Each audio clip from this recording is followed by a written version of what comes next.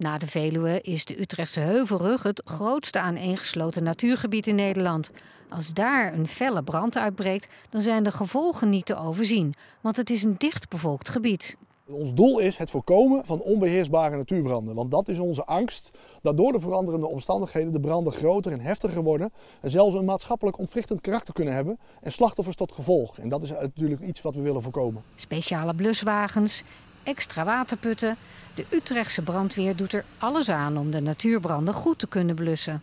En daarom is er ook door de brandweer in de provincie Utrecht eh, stevig ingezet. Beschikken we dus eh, over eh, dit soort specialistisch materiaal.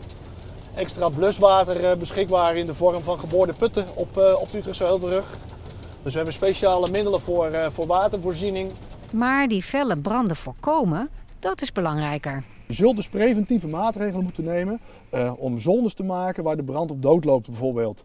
dus dat je natuurlijke barrières krijgt en daarmee een brand beheersbaar houdt. Is dat hier bijvoorbeeld ook het geval als u kijkt naar de vegetatie hier? Nou ja, hier zie je wel al aan deze kant bijvoorbeeld een loofhoutsingel met, met berkenhout, terwijl aan de andere kant een naaldhout staat. Dat zijn wel mooie verschillen, maar we kunnen daar nog veel meer mee doen. Loofbomen branden minder makkelijk dan naaldbomen. Meer variatie in het natuurgebied dus. Want die klimaatverandering gaat toch sneller dan gedacht.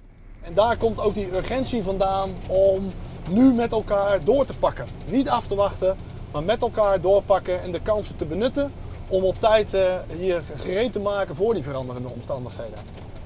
En niet te wachten totdat de slachtoffers zijn gevallen.